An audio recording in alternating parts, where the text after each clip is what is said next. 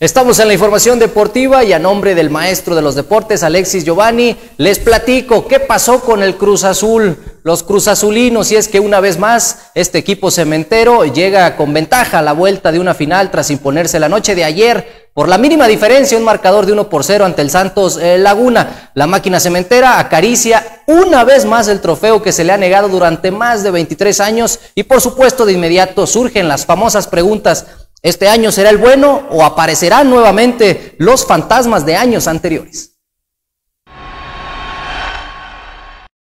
Cruz Azul ya pone una mano en la novena estrella al vencer en la final de ida a Santos Laguna, por la mínima diferencia con un gol de Luis Romo en el segundo tiempo, y así llevarse la ventaja al Estadio Azteca, y el próximo domingo tratar de poner fin a su mala racha en las finales del fútbol mexicano.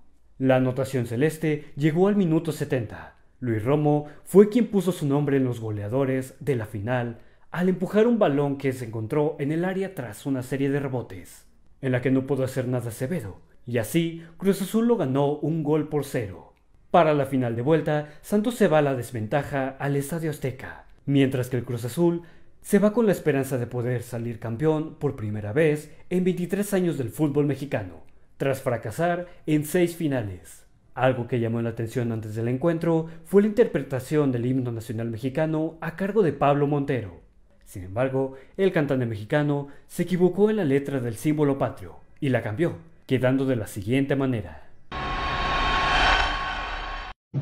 Siño patria, tus sienes de oliva, de la paz el arcángel divino,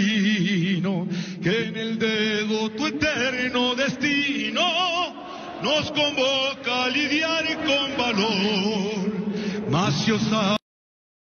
Para Noticieros San Luis Potosí, Miguel Ángel Huerta.